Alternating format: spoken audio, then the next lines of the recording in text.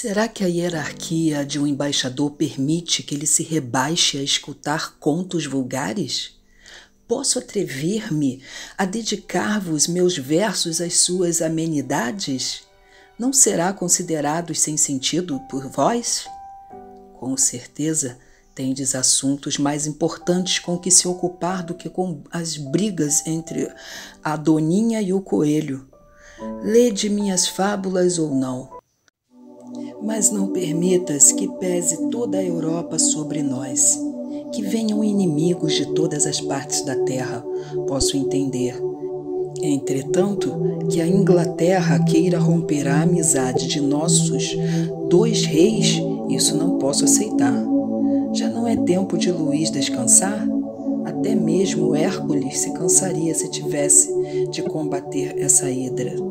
Sempre há de aparecer nova cabeça que se levanta para combater seu esforçado braço? Se vossa perspicácia e eloquência puderem acalmar os ânimos e evitar esse golpe, imolarei cem cordeiros em vossos altares. Não é pouco para um hóspede do Monte Parnaso. Por enquanto, aceitais esses grãos de incenso. Não desconsidere meus pedidos nem o relato que a vós dedico. O assunto vos convém, não direi mais nada. Não permito que insistis em vossos elogios, mesmo que sejam merecidos, pois até a inveja os cerca.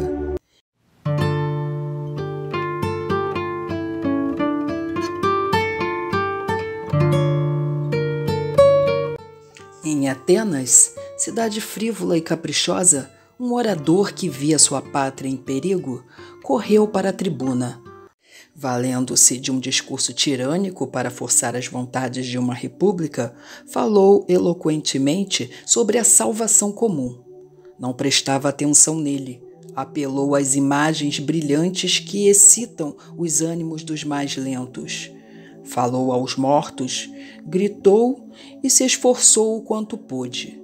Suas palavras foram levadas pelo vento, ninguém se comoveu Aquele povo frívolo estava acostumado com os discursos vazios e nem se dignava a escutar o orador.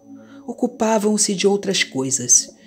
Havia até quem ignorava o discurso para atender às manhas de criancinhas. Que fez então o tribuno? Tomou outro caminho. Ceres partiu em viagem com a Enguia e a Pomba um rio atravessou o caminho. A enguia nadando e a pomba voando chegaram à margem oposta do rio.